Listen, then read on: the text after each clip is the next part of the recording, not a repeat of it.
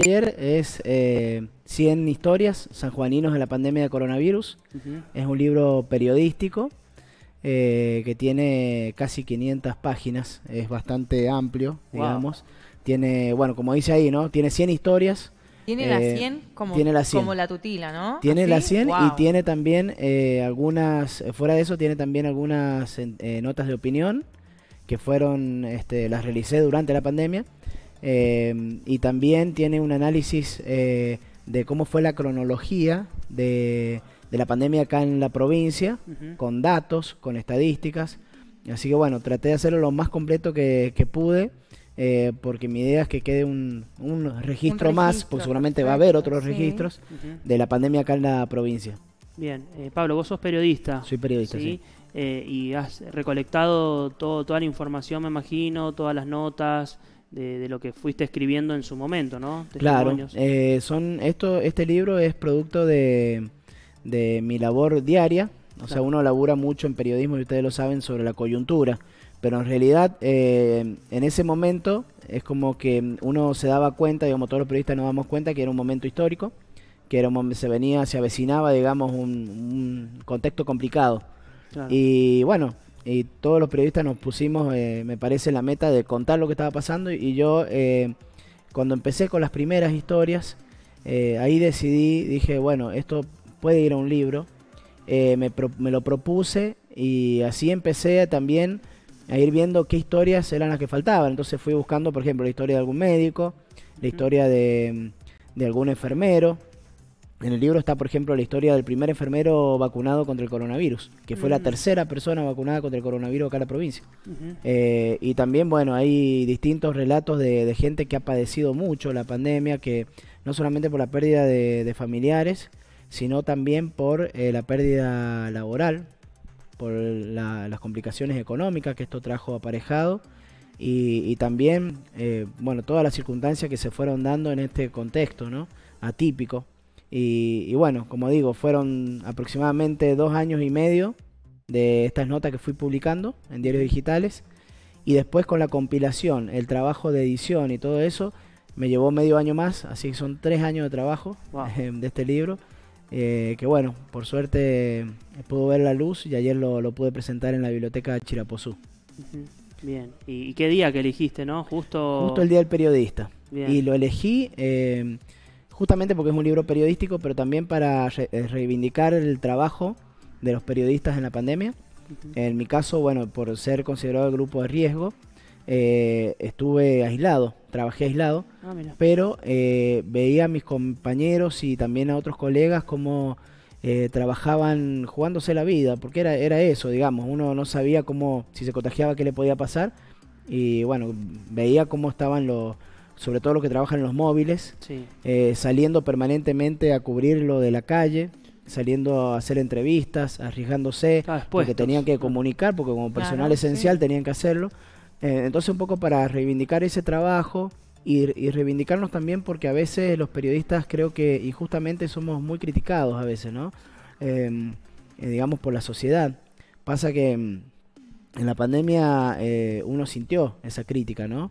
Como que estábamos alarmando, que estábamos, bueno, en un montón de situaciones, eh, que si bien hay casos particulares que quizás sí pasaba eso, pero por ahí eh, yo digo la generalización a veces nos afecta Sí. a todos y, y un poco para justamente para eso, para hacer un homenaje a, a todos lo- los colegas que también han trabajado mucho y hay colegas que inclusive eh, se contagiaron y estuvieron graves. Hay en el libro está la historia de, de un periodista que inclusive acá de, de acá de la casa, eh, em, que es em, Sol- eh, Solar, que es eh, bueno Daniel Solar, Sí. es un periodista muy conocido acá en la provincia y que tiene un programa acá en, en Sonda TV. Él estuvo grave y estuvo internado, estuvo en terapia intensiva. Por suerte pudo salir de eso, porque hay personas que no, obviamente no pudieron. Él, él, por suerte salió, puede contarlo, lo contó en, para, en su momento para, para la nota que le hice y, eso quedó también eh, en el libro. Así que bueno, justamente por, por esa razón lo presenté ayer y también porque soy un apasionado de mi profesión. Eh, básicamente también por eso. Bien. ¿Cómo, ¿Cómo te has sentido vos, no, a nivel personal, siendo objetivo más allá de, de la función de periodista? qué sentimientos y qué, qué es lo que contrajo todo este libro a vos y, y cómo te llegaban las historias de todos estos 100 sanjuaninos. Y bueno, eh, por ahí uno dice, uno es profesional y tienes que aislarse eh, de esa, de, lo, de las emociones. Y, a ver- y en un contexto así era difícil. Era muy difícil. Y hay historias que a mí me, me pegaron fuerte. Eran historias muy duras eh, de personas que habían perdido a sus familiares. Inclusive yo siempre digo que lo que más me impactó fue la gente que perdió eh, sus padres, los chicos Mm. los que quedaron huérfanos, los huérfanos del COVID-19, eh, que hay varias historias acá en la provincia. Y, y bueno, eso fue, fue duro, este, tener que procesarlo, digamos, para contarlo. eh, y, y bueno, y, y por ahí uno no se da cuenta, ¿no? Está metido en eso de, de contar, de las estadísticas, porque también hacía notas Sí. con respecto a, a los porcentajes, a cómo iban los contagios. eh, lamentablemente también los fallecimientos acá que hemos llegado hasta noviembre de 2022 que fue la, la última vez que se contó eso no Em, oficialmente eh, hemos llegado hemos superado los 1300 o sea muchos fallecimientos entonces em, en ese sentido digamos por ahí a veces como que emocionalmente eh, era difícil transitarlo porque cuando uno paraba un poco no Eh, algún día que de fin de semana que descansaba para, paraba un poco y lo trataba de ver con perspectiva y la verdad que era un contexto complicado y a veces cuando también le toca a personas cercanas eh, también a uno lo afecta pero bueno uno es periodista y tiene que seguir y por eso digo de, de la gente que ha trabajado en la calle Sí. todo ese tiempo eh, que no ha podido parar y bueno eso es muy valorable también Ujú. Eh, ¿Qué recuerdos tenés del momento cuando, de aquel 20 de marzo, cuando comenzó la, cuando se anunció, ¿no? Que, que el, el- el encierro, lo de la cuarentena y demás, eh, te recorda- recordás cómo lo viviste y seguramente de estar también en el libro, ¿verdad? Claro, eh, yo recuerdo, está justamente registrado cuando empezó la, la pandemia, que fue el 11 de marzo, Claro. fue decretado en todo el mundo eh, por la Organización Mundial de la Salud, pero acá todavía no teníamos contagios, recién estaban llegando algunos contagios a Buenos Aires. Claro, sí. Y, y bueno, y después, el, recuerdo que el 14, si no me equivoco, el 14 de marzo, que era día sábado, yo estaba en, una, en la redacción de un diario y estaba trabajando. Y bueno, cuando llega la información, y la tuve que publicar además, la información de que, bueno, las personas que tenemos enfermedades crónicas y teníamos que aislarnos. O sea, eh, y fue difícil por ahí digerir un poco eso. O sea, decir, bueno, mm, está bien, trabajo en un diario digital, puedo hacerlo, puedo trabajar desde ahí, pero estar ya aislado, cuando todavía no se sabía lo de la cuarentena, ¿no? Pero ya tener que encerrarse de alguna manera, estar en la casa y trabajar desde ahí, eh, por ahí fue, fue difícil digerirlo ese día, ¿no? Eh, pero recuerdo que llegué, bueno, le, le conté a mi esposa, a Silvina, le dije eh, que habían anunciado eso y que bueno, ya había hablado con, con, este, con mis jefes y bueno, y, iba a ser así, ¿no? Y después, bueno, se vino lo de la cuarentena estricta el 19, recuerdo que era, si no me equivoco, es un viernes 19, no, jueves 19 de marzo, que fue cuando anunciaron por cadena nacional esta situación, que a partir de la hora cero del día 20 empezábamos a entrar en cuarentena estricta Sí. y bueno, estaba con mi familia, mi hijo, mi esposa viendo eso y la verdad que era por momentos pare- uno uno decía, bueno, estoy eh, parecía una película, ¿no? Una película difícil de, de entender eh, porque cómo íbamos a llegar a eso, o sea, ahora que ya hemos eh, eh, pasado eso, por ahí ya, ya sabemos, bueno, ya uno se acostumbró, a, entre comillas, a ciertas cosas. Ahora, bueno, estamos por suerte en una nueva normalidad, ya es distinto. Sí. Pero, pero ahí al comienzo era difícil de entender. O sea, ¿por qué tenemos que aislarnos? ¿Por qué no podíamos ver a nuestros familiares? Eh, y era necesario porque justamente no había vacunas y había que cuidarse para no contagiarse, para evitar riesgos más, más severos. Eh, y bueno, todo eso también yo creo que los periodistas, como muchos profesionales, inclusive hasta los médicos, eh, fuimos aprendiendo. En, en medio, en la marcha de ese contexto, Claro. fuimos aprendiendo Era cómo todo era. nuevo. Sí, Era una incertidumbre, no saber qué iba a pasar al día siguiente y claro. Y además por ahí habían algunas medidas que después se cambiaban esas medidas porque se investigaba sobre la marcha y se Claro, aprendía que se... Exacto, que no era, ya no era factible, que había algo nuevo y Claro. que había que cambiarle. Yo recuerdo que todo. recuerdo que primero habían dicho que el barbijo no, no servía y después Claro. al final terminó siendo obligatorio. Sí. O sea, fue como en la, durante la, la marcha se fue cambiando la... Y para los periodistas era difícil comunicar eso porque había que hacer mucho hincapié en los cambios. Claro, los era cambios como de que todo medidas. perdía, veri- ve- ¿no? que todo era, perdía esa vericidad que la gente Sí. dice, te creo, no te creo, eh, me están mintiendo, eh, ¿cómo hago? Eh, creo en mí, creo en el Mm. médico, que el médico después se contradecía. Era una información sensible. la Y, y a través de las claro. redes sociales, a los medios le- nos llegaban muchas consultas. Sí. Claro. Impresionante. Bueno, a mi, a mi teléfono celular y a, y a todos los periodistas del teléfono celular también llegaban consultas de los conocidos. Bueno, ¿qué estás, eh, estás enterado de tal información? Claro, ¿Es ¿qué- verdad ¿Qué esto? información tenés? Sí. Teníamos que luchar contra la noticia falsa que surgió ahí, eh, la verdad que exacerbado, porque hubo mucho, mucho de eso. Eh, la verdad que mucha malintención, ¿no? Eh, entonces, teníamos que luchar contra esa noticia falsa nosotros permanentemente para, para que la gente no crea otra cosa y no crea que le estábamos mintiendo a los periodistas, ¿no? Claro. Así que, bueno, fue la verdad que fue un trabajo arduo eh, en ese sentido, en ese contexto, y yo recuerdo de otra, otra situación que recuerdo de la pandemia es Sí. cuando recién podíamos salir a dar una vuelta alrededor de la plaza. Parece, yo me río porque parece, parece un eso, cuento, ¿no? Sí, sí, todo sí, eso, En- encima, Increíble suena. encima era, a- a, digamos, eh, igual que, o sea, girar en el sentido de las agujas del reloj y no poder sentarnos en la plaza. Claro, que tenés que estar en movimiento y no cruzarte. Claro. Por eso todos al mismo... Increíble, ¿no? La verdad que, eh, digamos, lo que hemos vivido es, es como para, para- también para hacer ficción, porque parecía ficción. cual. Sí, me acuerdo hasta del... de Es, la- es- más, se termina hasta como un estudio sociológico, ¿no? Sí. De, de incluso cómo se puede llegar a maniobrar o manipular incluso hasta la mente de, de- un humano ante estas situaciones, ¿no? De, gran, en grandes masas. Y, Y- da para escribir un libro como lo has hecho vos. Y el impacto, eh, por ejemplo, ahí puse mm, eh, una, una nota, digamos que, en realidad no una nota, pero sí, dentro de un, un apartado, conté lo que me dijo un, sociólogo conocido de acá de la provincia, Ajá. que es Víctor Alcañarás, eh, científico Sí. del CONICET también. Ujú. Él anticipó, anticipó durante la pandemia que lo que estamos viendo, que iba a haber una, un cambio en la trama social también. Ah, ¿no?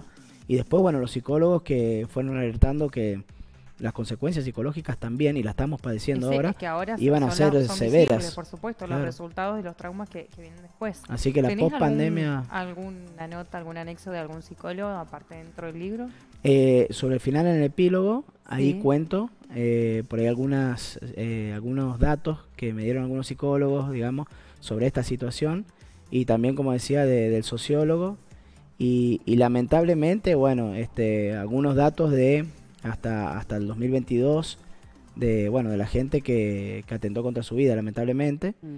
Como Eh, consecuencia, ¿no? De lo como que consecuencia de todo esto, del- sí. Incluso el Claro. estrés, el impacto. Confluyen muchas cosas, pero eh, la pandemia, lo que me explicaron algunos psicólogas es que exacerbó algunas eh, afluencias, algunas patologías que ya claro, sí. tenían algunas personas. Exacto, sí. ha Entonces- sido como el desencadenante final, se puede decir. Entonces eso eso es duro, digamos, te lo estamos viviendo ahora en la pospandemia. Y, y bueno, obviamente uno por ahí conversa con, con los chicos, con los más chicos. A mí me pasa con mi hijo. eh, y por ahí este, uno recuerda porque, bueno, ven algún programa o algo, algo de la pandemia. Y por ejemplo, él no quiere hablar del aislamiento, no le gusta. Claro. Eh, o sea que, no sé, uno lo que puede ver así de, lo, de los niños que uno conoce, de los más cercanos, los familiares, es que les afectó bastante el, el tema del aislamiento. O sea, y otra cosa que afectó es, eh, por ejemplo, volver a la escuela, pero cuando volvieron al principio, con barbijo, con Claro, distancia sí. social, no podían compartir con el compañerito Nada, la, todo lo que la merienda, Era normal y era algo Claro. no podían tomar del mismo vaso, Mm. o sea, No, mentalmente y socialmente sí, a, Ah. a los más pequeños les ha afectado muchísimo. Claro, porque el compartir que uno le, les enseña de chico Claro. no lo podían hacer. Entonces, bueno, es difícil. Y, y en esta en este libro están esto- todas esas historias, pero también están, por ejemplo, hay un apartado, un capítulo sobre eh, lo que fue el terremoto en pandemia. Entonces hay historias de eso también, porque sobre llovido mojado, ¿no? O sea, todavía que estábamos en pandemia. No podía faltar Claro. la característica sanjuanina ahí. en- eh, eh, todavía que estábamos con distancia social en ese momento, Se nos viene una catástrofe viene, viene un terremoto. fenomenal. Sí. eh, que encima fue el sismo más grande en 43 años. Claro. Entonces fue algo atípico, o sea, algo que por ejemplo yo no había vivido. Yo, por un- ejemplo, fue no un había año vivido. bastante Entonces, atípico y bastante fuerte, entonces. fue, fue tremendo. Y tenés todas las fuentes en ese libro, así que bastante interesante Bueno. para que la gente lo, lo pueda comprar, lo pueda leer y después comunicarse a través de, de tus redes, ¿no? Que te- Sí. para darte su opinión y seguramente las felicitaciones por, este trabajo. ¿Cómo lo puede conseguir? Claro. Y bueno, todos los sanjuaninos lo pueden conseguir a través de Piedra Libre, en la Bien. librería, que está ubicada en calle Mendoza, antes de Santa Fe, pleno centro. Es un punto muy lindo, digamos, para ir a buscarlo. Y si no, me buscan como Pablo Sama en las redes, me contactan y también se los puedo, los vender se los vos. puedo vender los yo. Eh, así que bueno, yo les agradezco mucho a ustedes por, No, por por la difusión y, y en ustedes también a todos los colegas, porque la verdad que eh, han difundido muchísimo esto. Eh, estoy gratamente sorprendido y muy contento por eso, por el apoyo de los colegas. Y, y bueno, y que esto sirva también para, en algún momento, para los que vienen, o los que vienen, Sí. digamos, los que no vivieron la pandemia, los que nacen ahora, los que, los que van a nacer después, cuando tengan que estudiar, ojalá que mi libro les aporte algo. O sea, eso me gustaría. Eso, eso estaba pensando precisamente como para cerrar esta entrevista tan, tan amena y tan, tan buena, ¿no? con tanta información y, y a la vez esa opinión personal, esa, esa llegada eh, humana. ¿Qué, te, ¿Qué pensás vos de esto que puede ser como un, un nuevo despertar ¿no? a nivel periodístico, de- del periodista a transmitir una información un poco más humana, ¿no? De Sí. hacer llegar el mensaje del portador de voz de todas las personas. Y yo creo que el contexto va cambiando desde un poco antes de la pandemia en el tema de, o sea, yo básicamente me considero un periodista que trata de contar historias, pero a nivel general, contar historias en el periodismo, eh, eso se ha venido ya, está influyendo mucho y yo creo que la pandemia lo, también lo, lo ha llevado a niveles más altos y, y por ahí la, la gente espera eso, ¿no? Que le contemos historias humanas porque Ah. eh, eso es lo que sensibiliza y, y no solamente informa, sino que también eh, da otra perspectiva, ¿no? De, de un relato, de, de- de conocer a quién está detrás de, de determinadas noticias y demás. Y me parece que eso es humanizar también un poco la, la noticia y es lo nuevo que, que estamos viviendo. Bien. Bueno, excelente, Pablo. Bueno, muchas gracias por. Muchas gracias a por ustedes. Bueno, Pablo Sama ahí con nosotros contándonos y un poquito de lo que de lo que tiene, ¿no? En este libro que se presentó en el día de ayer, sí, que ahí lo estamos viendo en pantalla, San Juanino, sí, 100 historias de sanjuaninos en la pandemia de coronavirus, así que bueno, ahí para todos los que le que interesados que quieran leerlo y demás, ya saben ahí eh, cómo cómo adquirirlo. Incluso Eh, todas las personas que él entrevistó, ¿no? La, sí, la muchos testimonios. De datos, testimonios y gente sí, que, que va muy interesante. Salís en un libro, así que qué mejor opción que comprarlo para tenerlo en casa. Exactamente, así que bueno, eh, nosotros vamos a ir a la última pausa del día de hoy y ya venimos con la última parte del programa del día de hoy. Dale.